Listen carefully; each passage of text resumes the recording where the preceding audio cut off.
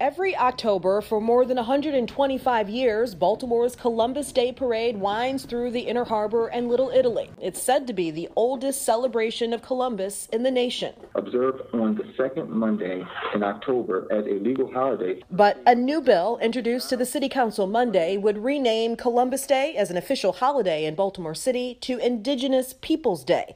Bill sponsor, Councilman John Bullock, says his proposed change is about celebrating what he calls the true legacy of the continent. Many historians have scrutinized Columbus's achievements and treatment of Native Americans. The New World, as described by Europeans at the time, was only new to them and was not discovery.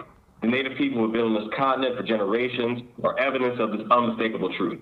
They have not only survived but persevered in the face of land theft, broken treaties, genocide, and discrimination. I'd rather have it be Indigenous Day instead of Columbus because, you know, Columbus never did anything for us. I don't know that that really needs to be changed or not.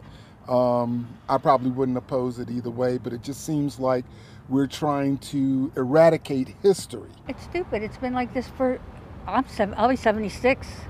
We've had Columbus Day. We've had every President's Day back in the day. So uh, it's stupid leave everything the way it was. Baltimore has three monuments honoring Columbus. Protesters tossed one into the Inner Harbor in July, and council members are considering renaming another to honor victims of police violence. Assigned to the Housing and Urban Affairs Committee. The council voted down a Columbus Day name change proposal four years ago. This new bill now heads to committee.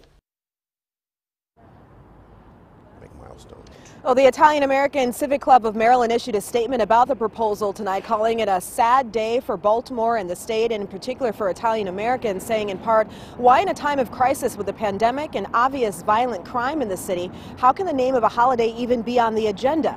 Our elected officials need to fight the battles that are real. Reporting live at City Hall tonight, Reed, WBAL TV 11 News.